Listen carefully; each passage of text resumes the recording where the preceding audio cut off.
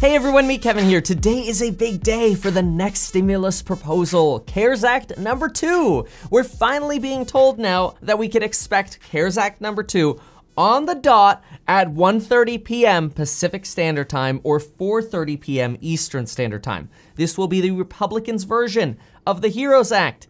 And Congress has never been late, so set your time. In the meantime, here are the most important updates on stimulus and the markets as of this morning, Monday, July 27th. First, there are new suggestions that we may see a $450 back to work boost or some sort of raise for working. We're not sure if that's coming. The only raise for working we've seen was in the HEROES Act, which would give essential workers $13 more per hour up to certain limits. And we've seen a back to work boost of $450 by Senator Portman. But we've seen nothing about that until Larry Kudlow suggested some sort of back to work credit yesterday morning. Now, this is unconfirmed, but it's led to a media frenzy and numerous articles suggesting that we might see a $450 back to work boost.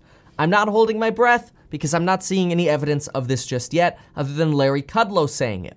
Although Larry Kudlow's never been wrong. He said that we're in a V and that we're definitely going to have a payroll tax cut.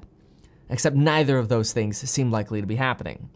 We're also not sure if we're going to see an update to the EIDL included in this package, which would finally give small businesses $10,000 rather than the $1,000 grants we were able to apply for.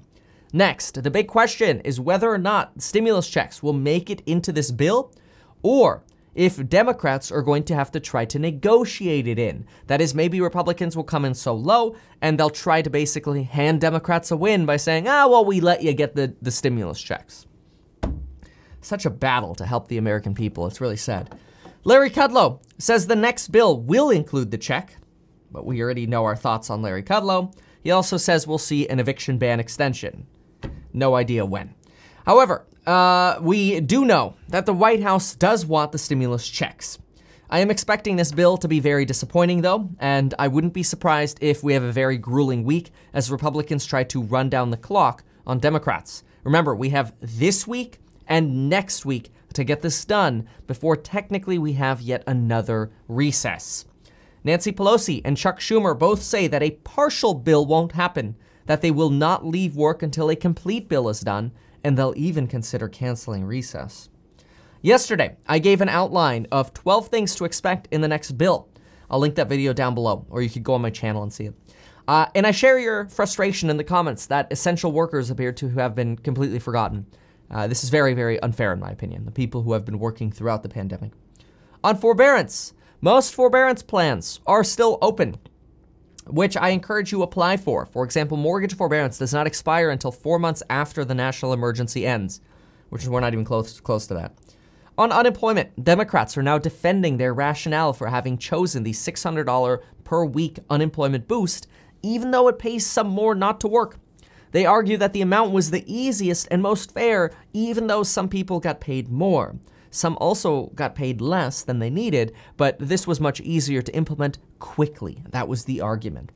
Obviously, the unemployment boost has received much more criticism, though, than the PPP loan program, where business owners received payroll protection money, and now technically those businesses don't have to spend the money on payroll, thanks to new loopholes passed in Phase 3.5. Furthermore, all eyes are currently on Senator Mitch McConnell and whether or not he has finally signed up for life insurance, which you can do as well in as little as five minutes via the link down below. You can also Android and Apple Pay for it. Very easy to sign up for, and hey, at least get a quote and see what the pricing would look like. It might surprise you. Senator Mitch McConnell's office currently states, quote, this is not over. America's fight continues, and so Congress's support for our people must continue as well. With this preview, Mitch McConnell has also suggested that there are going to be multiple parts for the next bill and that they're going to be written by different members of the Finance Committee. Chairman Grassley is the, well, he's the chairman of the Finance Committee, and he will introduce the combined package at 4:30 p.m. Eastern Time today. This package is being put together along with these senators. Listen to these names and see if you notice anything in common. Senators Alexander, Collins, Rubio, Shelby, Blunt, Cornyn, and Romney. There are only two things that I see in common here. One, they're all Republicans, and two, they all love recess.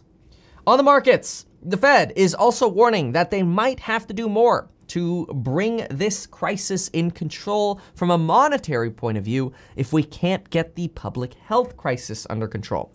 Especially as the Fed worries that jobs added in May and June and the rate at which we're adding jobs may not keep up. The Fed also says even though everybody thinks they're all powerful with the money printer, the Fed can't do things like fixing supply chains or getting people to fly on airlines anymore. Meanwhile, RV sales are way up, Winnebago stock is up, recovery stocks are down, like the retail and restaurants, and we're close to a buying opportunity on Lemonade again.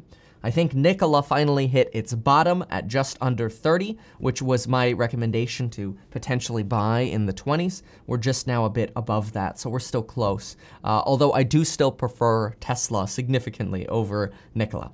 Treasury yields are down and the dollar is down, which uh, can help trade competitiveness. And in COVID news, the CEO of Salesforce shared research from Fortune and other information that said that 67% of Americans now wear masks, and this is up from 50, uh, 54% in May. It's a 13 percentage point increase. He also cited research saying that if 80% of us wore masks, the pandemic would be over in a month. The world's biggest COVID vaccine test just got started on Monday with 30,000 volunteers, additional volunteers now hopping on. This is the Moderna vaccine, whose stock is also up today. Some, by the way, are getting placebo shots, so they are being told not to be careless. The World Health Organization also called the coronavirus pandemic, quote, easily the most severe global health emergency ever declared by the UN agency and warned that it continues to accelerate. In other news, Papa John's has announced that it's going to hire an additional 10,000 employees on top of the 20,000 employees that they've already hired. They want to make it quick and simple for you to apply and get in, and wait for it, they make it very, very clear that a college degree is not necessary. So if you had a college degree and think that you're gonna be the next best Tony spinning pizza pies, well, you're going to be doubly disappointed. All pizzas are going to be made in a contactless manner, and you don't need your college degree.